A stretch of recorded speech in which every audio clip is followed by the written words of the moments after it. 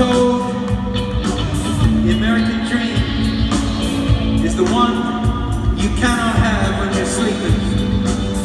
So tonight, we dream with our eyes open, and if not our arms, our minds open to the ones who stand in our way, and to the ones across from us, close and near. We keep our minds and our hearts open in the spirit of Dr. King. 50 years.